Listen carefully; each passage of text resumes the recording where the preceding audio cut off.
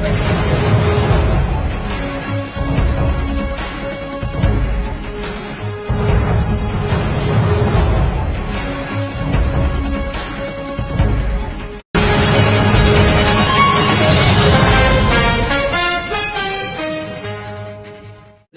గిరిజనుల సమస్యలు పరిష్కారం అయ్యే వరకు పోరాటం చేస్తామని తెలంగాణ రాష్ట్ర గిరిజన సంక్షేమ సంఘం అధ్యక్షుడు ధర్మానాయక్ స్పష్టం చేశారు.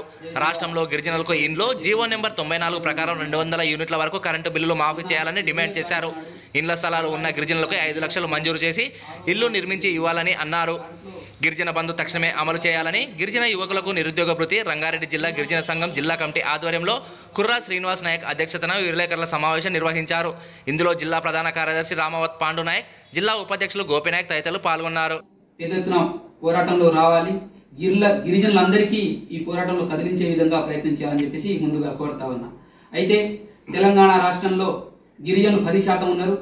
ఆ పది శాతం ఉన్నారు కాబట్టి పది శాతం రిజర్వేషన్ ఇవ్వాలని చెప్పేసి ఎనిమిది సంవత్సరాల కాలం పోరాటం చేశాం.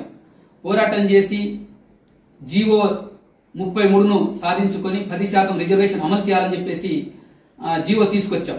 కానీ ఆ జీవో అమలు చేయడం కోసం మాత్రం ప్రత్యేకంగా గిరిజనుల బ్యాక్లాగ్ పోస్టులు కానీ గిరిజన ఉద్యోగాలు ఉద్యోగాలు కానీ భర్తీ చేయడం కానీ ఇట్లాంటివి చేయడంలో రాష్ట్ర ప్రభుత్వం పూర్తిగా విఫలమైంది. పది శాతం రిజర్వేషన్ ఇచ్చిన ఇవ్వడమే కాదు దానికి అమలు చేయడంలో కూడా రాష్ట్ర ప్రభుత్వం ముందు ఉండాలి. అనేక డిపార్ట్మెంట్లలో నలభై ఆరు డిపార్ట్మెంట్లు ఉన్నాయి నలభై ఆరు డిపార్ట్మెంట్లలో గిరిజన పోస్టులు అనేకం ఖాళీ ఉన్నాయి.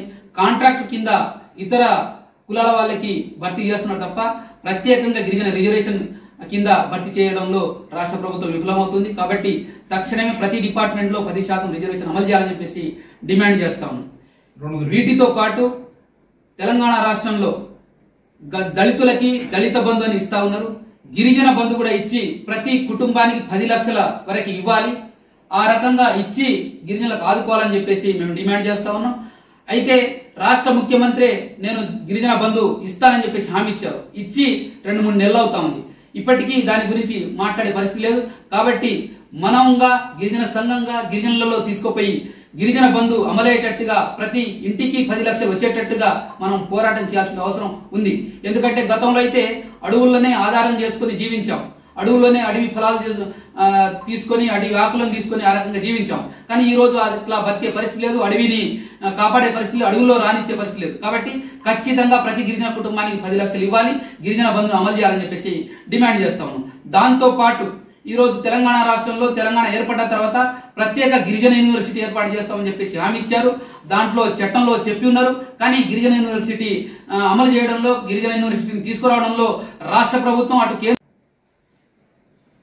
ఈ నెల ఇరవయో తేదీన జరిగినటువంటి రంగారెడ్డి జిల్లా గిరిజన ఆరవ మహాసభలో నూతన కమిటీని ఎన్నుకోవడం జరిగింది. మొత్తం ఇరవై మూడు మందితో ఈ కమిటీ ఎన్నిక జరిగింది. అధ్యక్షులుగా కుర్ర శ్రీనివాస నాయకు జిల్లా ప్రధాన కార్యదర్శిగా రామావత్ పాండు నాయక్ నేను ఎన్నుకు ఎన్నుకోబడడం జరిగింది.